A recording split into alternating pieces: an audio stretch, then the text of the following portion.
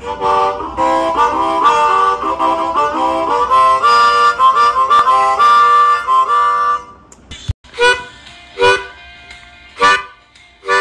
Hi everyone, it's Rain Pryor again. I thank you so much for wanting and having interest in coming to Katori Hall's Hoodoo Love at Spotlighters Theater. This is such an exciting show um, with its drama, tragedy, love. Be careful what you wish for, right? You just might get it or it might not turn out the way that you really thought it was supposed to be.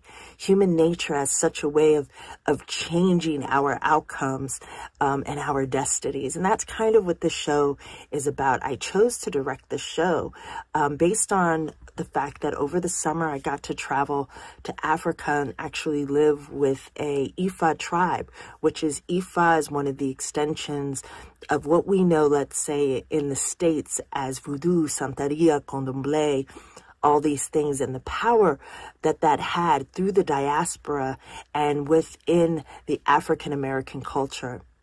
So I thought there's a honor to be to be had to be able to direct this play. And my favorite part is taking a play that is normally performed on the proscenium stage and evolving it into the round, which Spotlighters is in the round, and creating different dimensions and textures um, that you normally wouldn't have seen um, Hoodoo Love being played in. My cast is absolutely phenomenal, and I'm so excited for you to see them. So thank you for having me direct that spot.